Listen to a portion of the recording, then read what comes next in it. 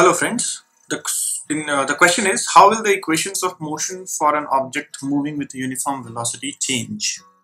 So we need to know the equations of motion and from our knowledge of kinematics we know there are three equations of equations equations of motion are there. Now what are the assumptions for these three equations?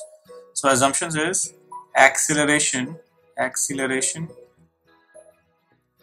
is constant constant and and motion is restricted restricted to a straight line path. And the three equations were or r. First one is v is equal to u plus at b is s is equal to ut plus half a t squared. And c is v square is equal to u square plus 2as now let's see let's see what are the meanings of these uh, variables. So v is final velocity final velocity. U is initial velocity. And s is displacement covered in, in uh, along the straight line. Displacement displacement displacement. T is the time taken for the travel.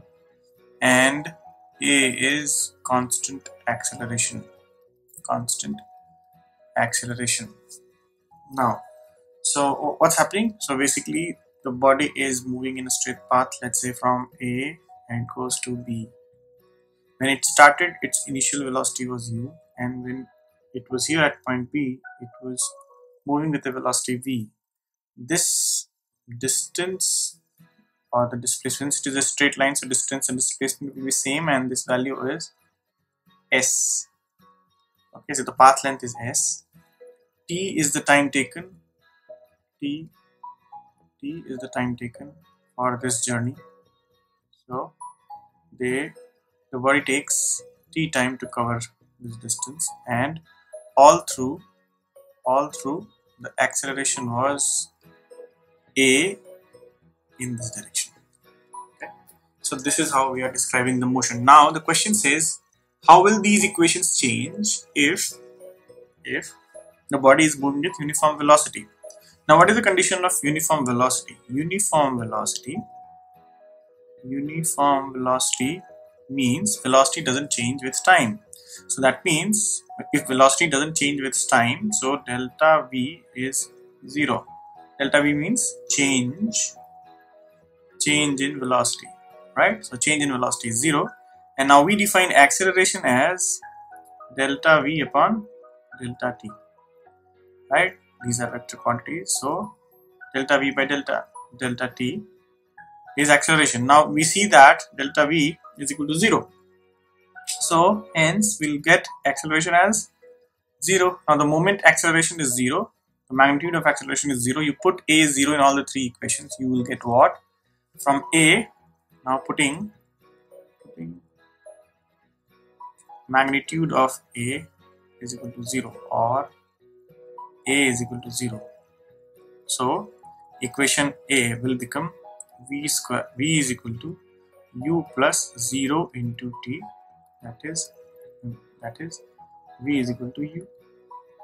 B will become s is equal to ut plus half into 0 into t square. That means s is equal to ut and c v square is equal to u square plus 2 into 0 into s. This implies v square is equal to u square. So basically if you see v is equal to u v is equal to u v is equal to u v is equal to u means what? Throughout the journey initial and final velocity are same. So that is the sign of a, a constantly or uh, body and in constant or uniform motion. So u is equal to v, s equals to ut, which you have learned in your previous classes. That distance is equal to speed into time. So if you see, s represents the distance, u is the initial velocity which remains constant throughout the motion. So the velocity times time will give you the displacement or distance in this case. And v square is equal to u square is nothing but same thing, v is equal to u, right? So all through the motion, v remains same. So this is how the equations will change the moment the body is moving with uniform velocity.